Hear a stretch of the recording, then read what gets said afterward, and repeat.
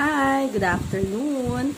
I'm Emily Kadag and I'm your PLE teacher who will be showing you how to do the polvoron, creamy polvoron, the classic one.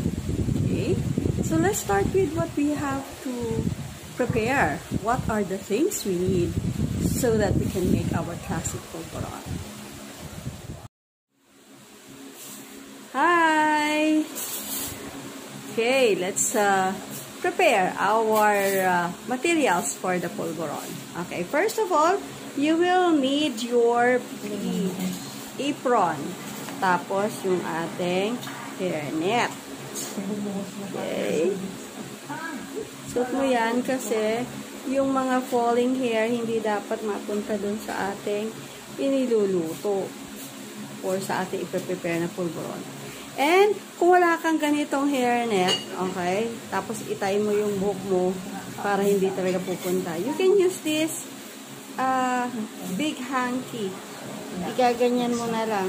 So, para pwede kang maging ano, yan, para maging ano mo, hairnet mo. So, pwede naman yan. Okay, so no need to buy kung ano lang available natin sa bahay, di? Kasi pandemic.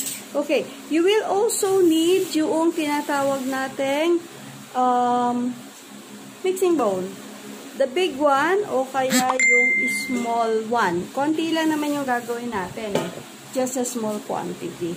Okay? And then you will have to use yung uh, yung mga bowls.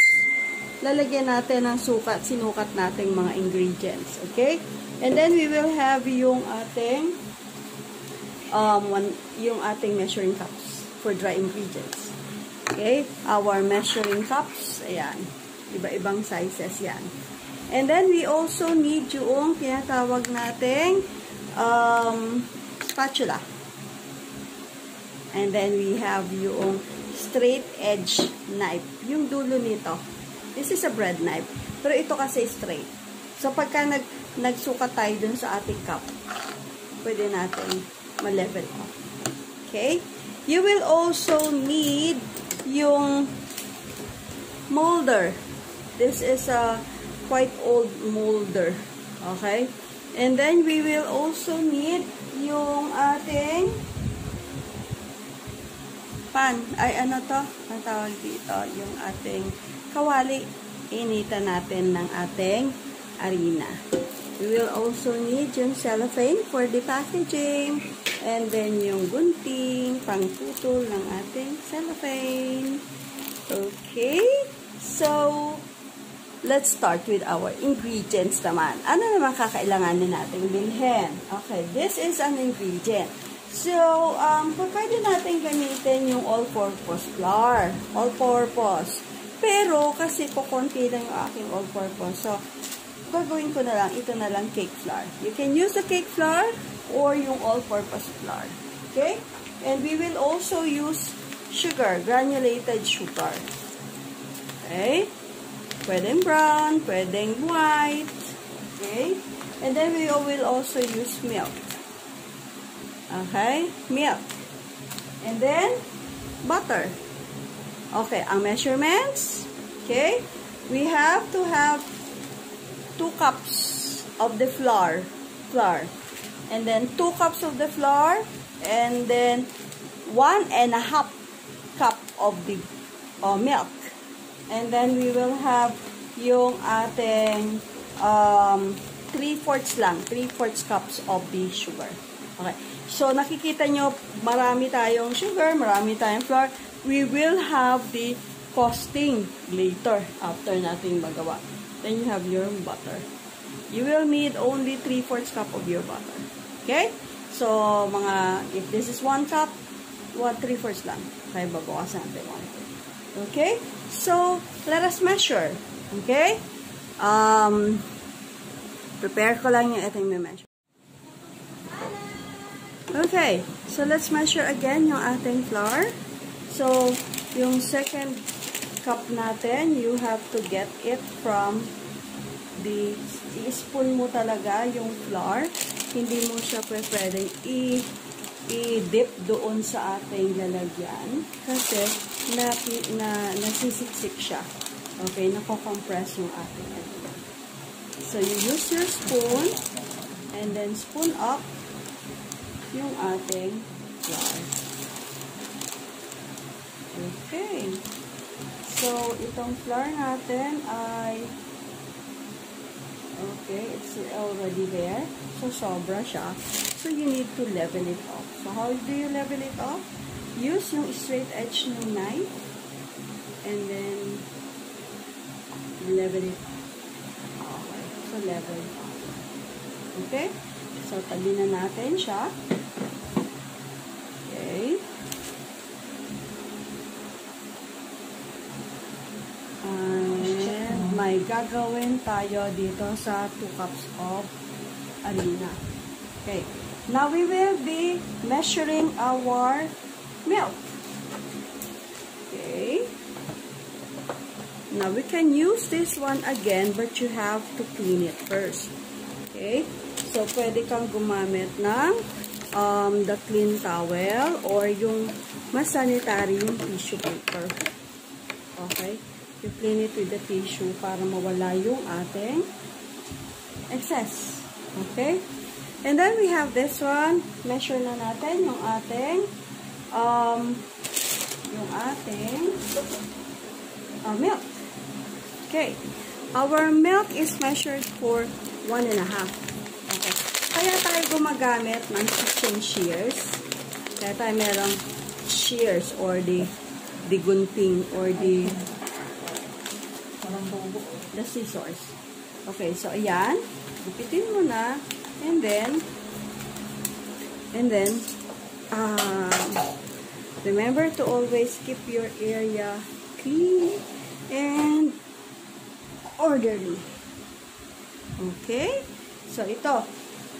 So, meron na tayong milk. We will measure one and a half.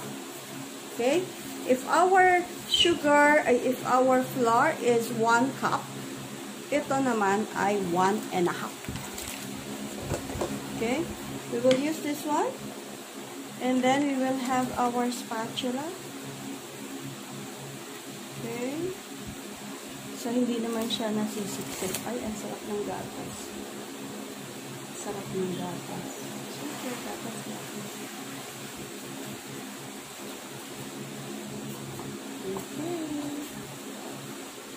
Okay. So that's level off. So, itabi mo. And then, we use again yung one and a half cup. Cup. Okay, I have here one half. So, I'll be using this one to measure the half. Okay. And then, level it off. Importante minsan pagka ano, minsan eksakto lang, minsan hindi, but you have to always level it off. So, magpapasobra ka na ulit. Okay? So, this is one and a half. Remember to have your measuring cups. Okay?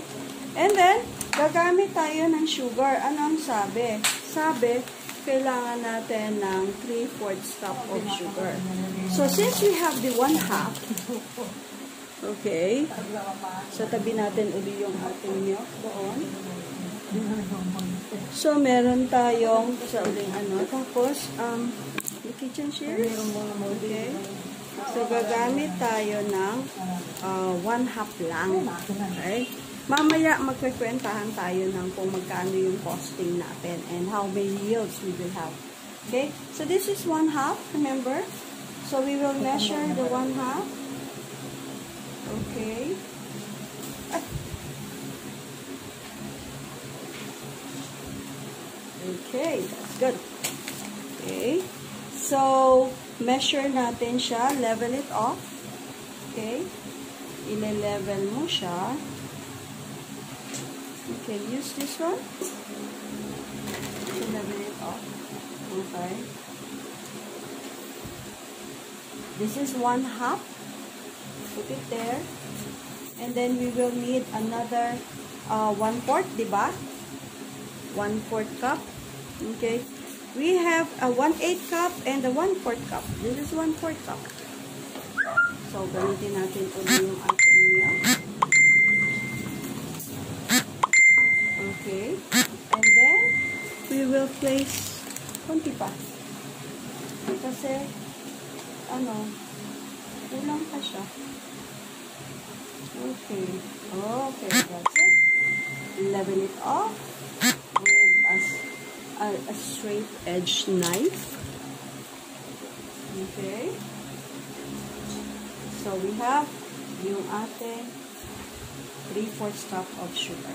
So, these are our main ingredients. So, what, what our 3-4 cup of sugar, our one and a half cup of powdered milk, and we have our two cups of sugar.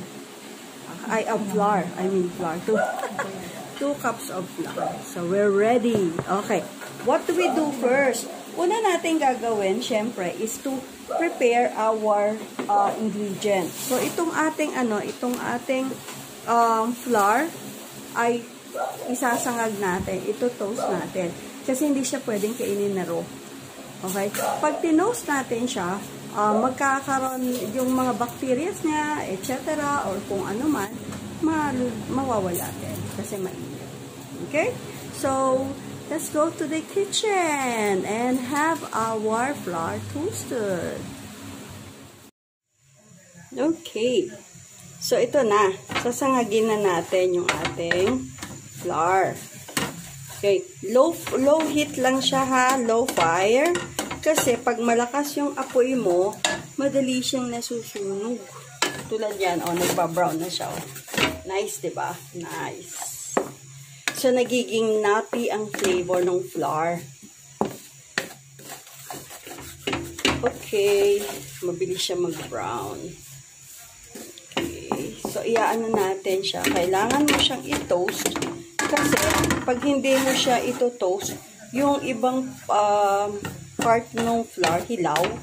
And, maaanhan mo, hindi po pwedeng hilaw. Kasi meron minsan mga um, since it's raw flour, meron minsan mga bacteria, mga something na nandun sa flour na kailangan mong ingatan.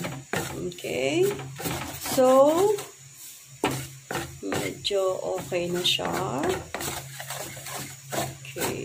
Pa-brown pa natin ng konti. Okay.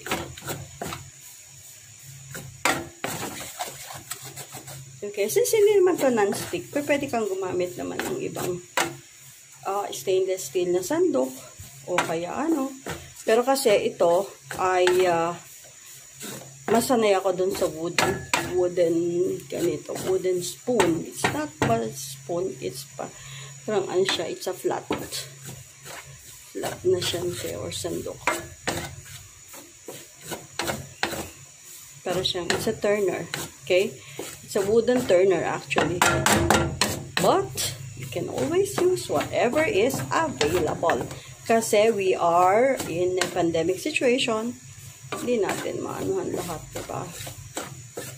Okay. And then we will use a strainer for this. Okay, brown siya. Can already use this, actually. Sandali lang. Okay? Huwag masyado matagal at baka baka naman maging mapait yung inyong anak na. Okay, let's turn this off. Bilis ano? Hi! So, tapos na tayo mag-toast ng ating arena. Now, what we will be doing is to sit. Masasalain na natin siya.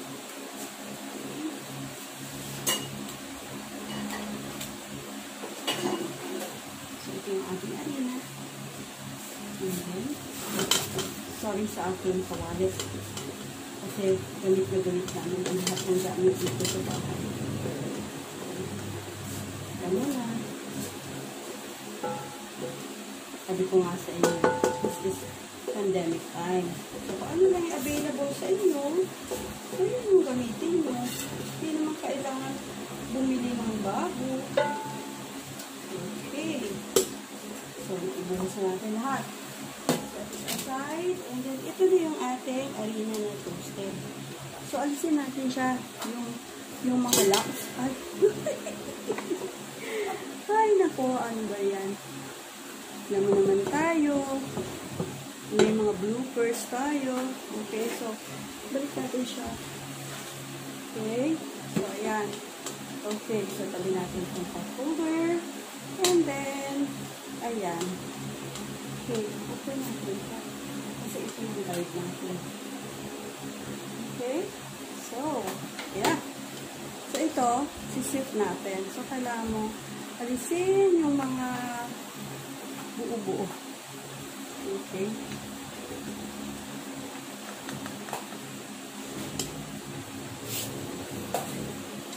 Kailangan ko lang nakatayo. Kasi mas yun, tama, nalalaglag na sila. Right? Okay, so nalalaglag na sila.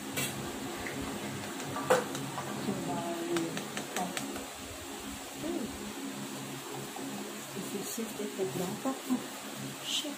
Everybody's dancing. Shake. Diba? Shake. Parang TikTok shake. Okay. So, yan. Lapit na.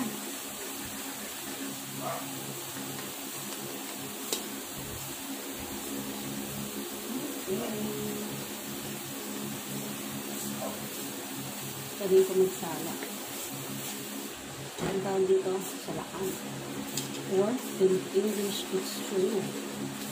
Diba? Napag-aralan natin. And this is a stainless kind of straw. Hindi siya plastic.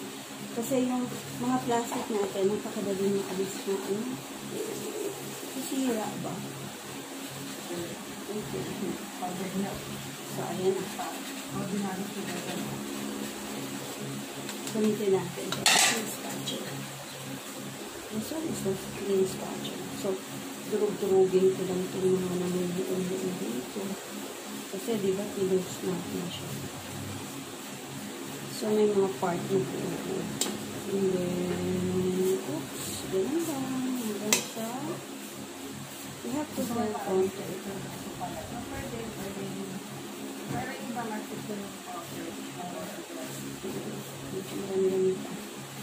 Napabawasan yung ating So, ayan. Alisin mo yung mga buo-buo na yan kasi yan yung magiging parang pangit dun sa texture ng ating pulburon, di ba? Dapat ang texture ng pulburon is masarap. Walang buo-buo. Wala siyang lasang arino lang. So, imimix natin lahat ng ating dry ingredients. Okay. So, this is our flour. Toasted flour. O halos wala na. Kampi na lang. Okay. Okay.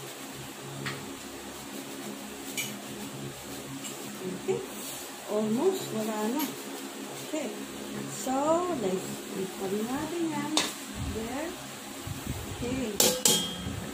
So, ayan yung ating toasted flour. Now, we mix our um, our sugar. Okay? Natin. Mix na natin dito sa sa flour. Okay. Ayan. If you see, andyan po yung ating butter. Ayan. Okay? And, let's clean our area.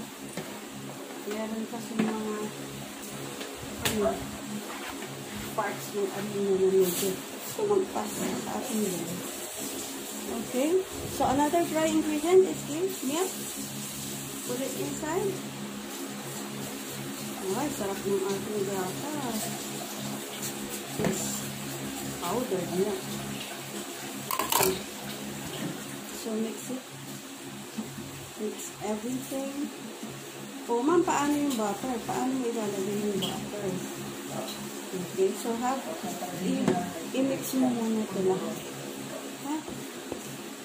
Pag na-mix na to, mga anak, okay, pag na-mix na ito, Ito lang. Pag inadyo yung milk na wala, wala, wala. ayan.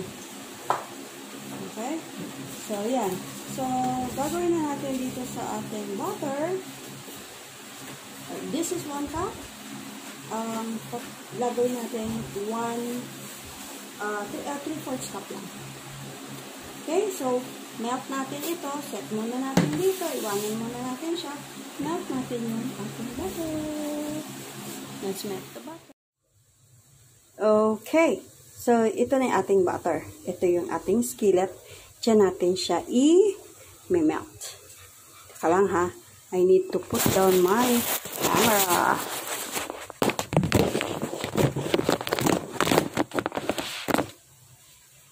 Okay, kita naman natin, 'di ba?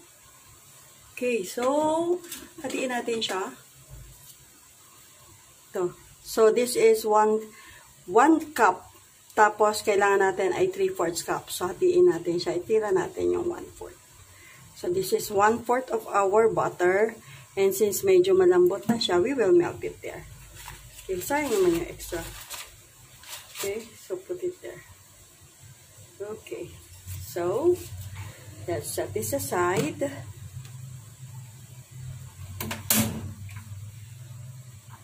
Dapat low fire ka lang kasi pagka uh, big fire ay baka nasayang.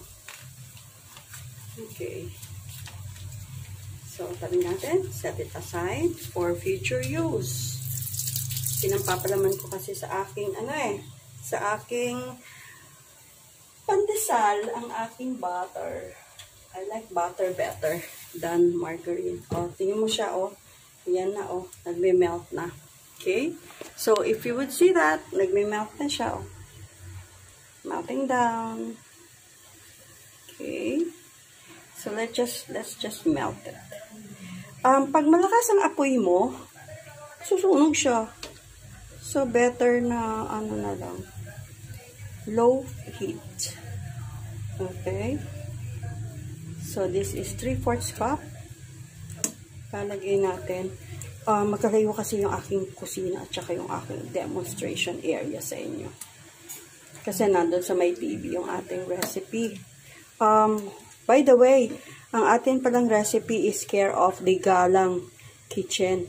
Kay Mrs. Galang itong classic Polvoron recipe na ginagawa natin. Okay? In the long run, siguro kung kayo ay medyo magaling na, ba? You can also have your own blogging, your own recipe, parang si RV. No? Just uh, make sure na ito ay melted. It's almost melted. Okay? So that's it. Transfer na natin siya sa isang lalagyan. Okay? Baba ko muna yung phone ko. Okay? Baka siya maluto. Okay, I'm back. So, ito na yung ating butter na melted.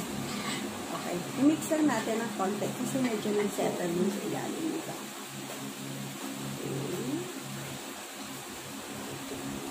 Okay. And then after that, ito na yung ating mixture, di ba? So, alagay natin sa loob ng ating mixture ang ating margarine.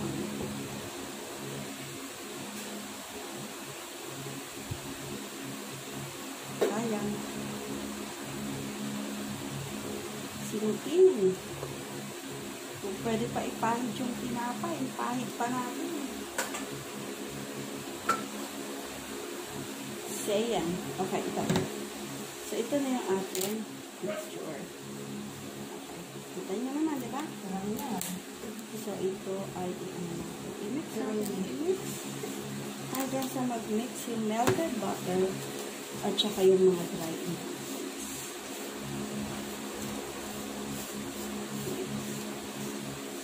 Sarap. Now, to make it more exciting, pwede kayong magdagdag ng um, or ng Rice Krispies, yung mga nabibili doon sa ano, yung mga nabibili sa um, chocolate lovers dyan sa may Dituason along Quezon Avenue.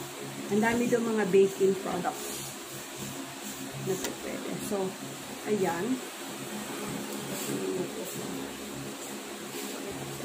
Ay, hindi makita. Okay. So, mix natin na i-mix. i-mix natin na i-mix. Okay? So, namimix na natin ng gusto. Inyo. Sorry. Yan. Okay? So, mix natin na i-mix. Pag na-mix na ng gusto, mumuldo natin. Gagamitin na natin ng molder. Develop na natin ang butter para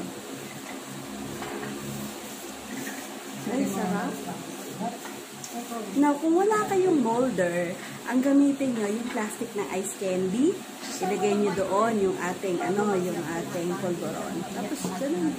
O kaya gusto nyo yung parang sinusong na ah, parang um, clean paper. Tapos, saka bubutasin sa dulo. Tapos, ganun lang. Yung mga yung panahon namin, mga bata pa kami. Yung mga ganun lang, sinusong yung tawagin. And what we are buying is the milk. Skim milk. Yan, mga nanay nyo. Uso yan. Meron pa nga kami nun, Nutriban. Nung mga grade, ah, elementary level. Oh, si ma'am, all this now. Siyempre, di naman. Medyo ano naman, medyo, ah, medyo kasing age lang ng mga mother. Okay, ng mga mother nyo. Okay. I already have four children and they are all working that's the joy of life. Diba? So, in the future, lahat kayo magtatrabaho na rin. Okay, yun na, mix na siya. Okay? So, ngayon, tingnan natin ngayon, magmumold tayo. Okay? Wait for a while. Okay, I'm back. So, ito ngayon, gumamit ako ng gloves. Okay? Why? Kasi, i-analagin na natin siya dito. Actually, pa pwede naman siyang i-ano. Um, kung wala kayong ganitong spatula or big spoon, at gusto niyo talaga ano, pwede niyo naman gamitin yung mga kamay. Okay? Para maano talaga yung mga lumps. Uy, mainit-init pa siya. Okay? Sarap. Okay? So, ang gagawin natin ngayon is to put it there. Sisiksik natin siya dito. How do we do it? Okay, ayan. Okay. Okay. Napangansya ko. Mag-share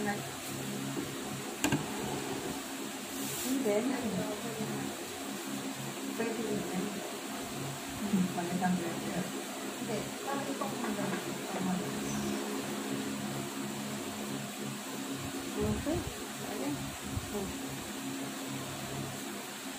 Then, let's see. Kung nag-move ba siya. Okay, let's see. Tara, one, two, three.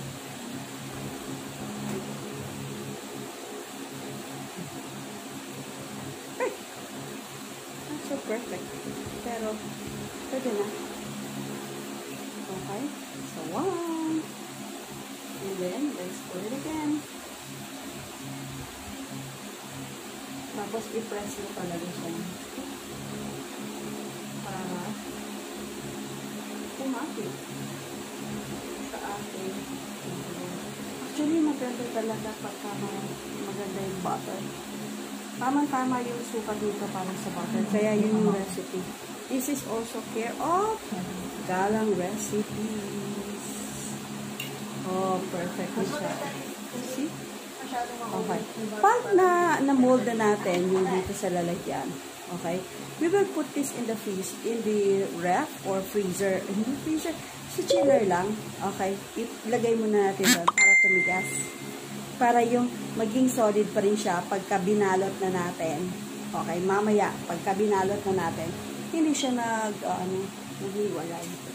Pero, because maganda yung ating, ano, yung ating um, ingredients at saka yung ating uh, yung proportion kasi nasa proportion din yan ng ating mga ingredients na ginamit. So, ang ganda.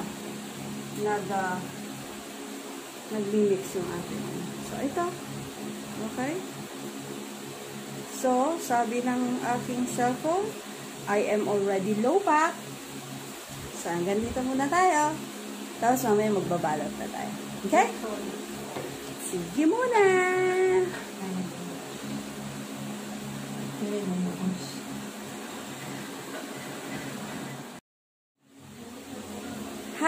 welcome back. Balutin na natin.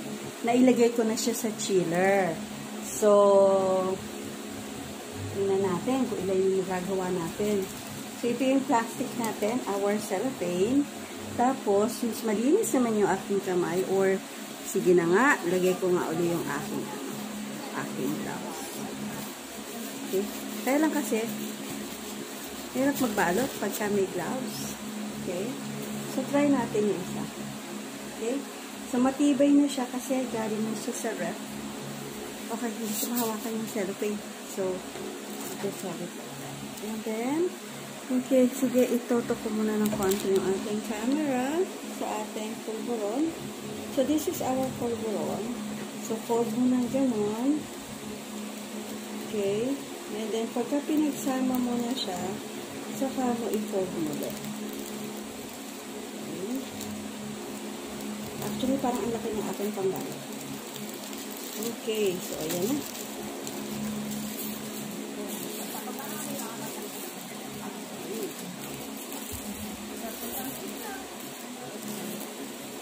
Ang ganda. Okay? Okay, so ang ating panggamit. And then, we have another one. Isa. Tutuwa ako eh. Okay, let's have this one. Malinis po ang kamay dapat pag humawak sa polvoron. Okay.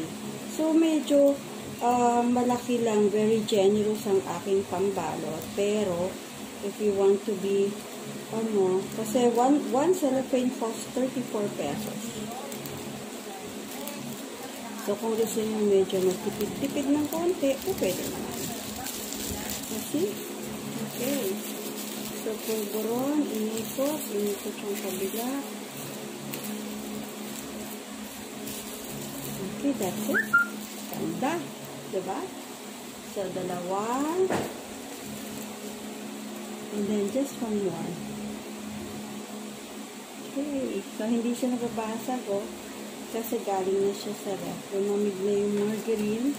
So, lalo niyang na-mold yung ating ano. Okay? So, ayan.